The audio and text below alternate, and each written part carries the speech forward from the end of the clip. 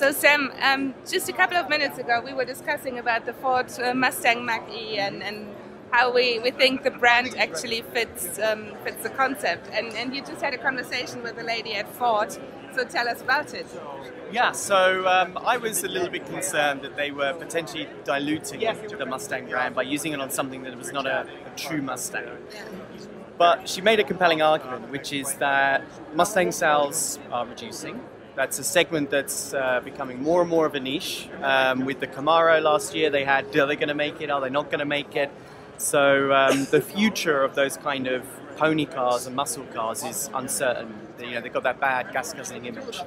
So they thought, well, now is the right time to to give the heritage of Mustang a chance to survive into the future, Okay. and to try and take some of the spirit of the Mustang, which is about performance, it's about drive, it's about excitement, um, into a more modern electric vehicle package. So I think that that's a fair argument. I think it's a good one.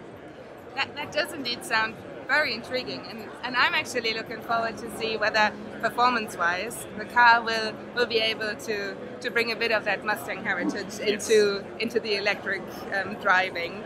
Um, because we all know that the acceleration with electric vehicles is impressive, so maybe that's that's the angle. Yes. How to how to find the connection to, to the Mustang brand. Yeah. It's going to be exciting. So the show at uh, in Las Vegas, the Consumer Electronics Show in Las Vegas, is also a lot about the future of retail and the future of, um, of dealership.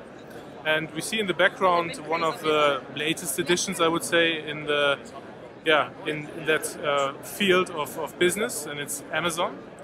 Um, and you see in the background also the future of automotive retailing.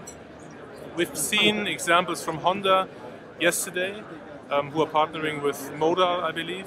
And um, yeah, the future of automotive retail is definitely going to be online, and Amazon has a prime spot uh, in the middle of the show and is really making a big fuss out of it.